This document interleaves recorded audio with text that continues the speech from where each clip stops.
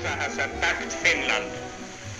This is not a war, but the most ruthless aggression upon a peace-loving, hard-working and deeply religious people. Выходила на берег Катюша, на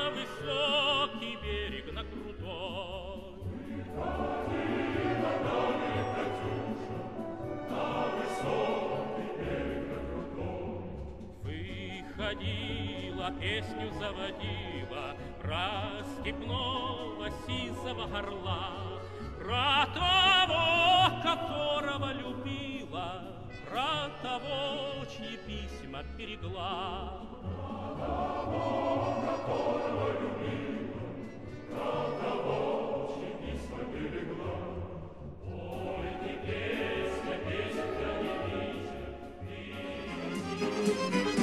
Germany start invading Russia.